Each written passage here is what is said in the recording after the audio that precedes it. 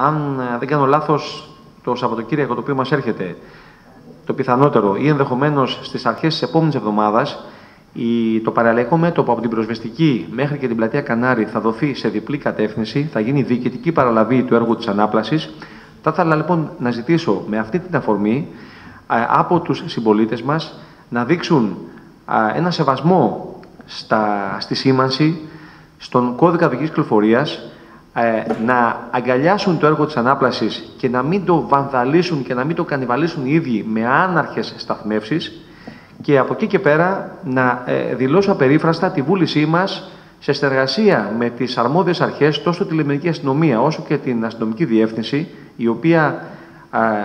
δραστηριοποιείται η περιοχή εμβέλειάς της, η αστυνόμευσή της είναι μέσα από την παραλία, είμαστε αποφασισμένοι να συνδράμουμε στην αυστηρή αστυνόμευση και στην τήρηση των μέτρων. Δεν θα θέλαμε να πείπτει ράβδος, αλλά δυστυχώς, όπως λέει και ο λαός, όπου δεν πείπτει λόγος, πείπτει ράβδος. Εμείς θα θέλαμε αυτόβουλα ε, όλοι οι συμπολίτες μας αλλά και οι επισκέπτες να σέβονται και να τηρούν τις κυκλοφοριακές ρυθμίσεις. Αν παρελπίδα και δυστυχώς από μερίδα ή από ορισμένους συμπολίτες μας κάτι τέτοιο δεν ε, τηρηθεί,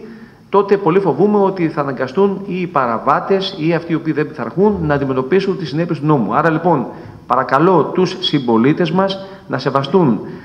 τις ε, προσπάθειες του Δήμου και του νησιού μας για την βελτίωση της ποιότητας ζωής στην πόλη μας, για μια πιο ανθρώπινη πόλη και τις παρεμβάσεις που έχουν γίνει να τις σεβαστούν, να τις υιοθετήσουν και να τις αγκαλιάσουν.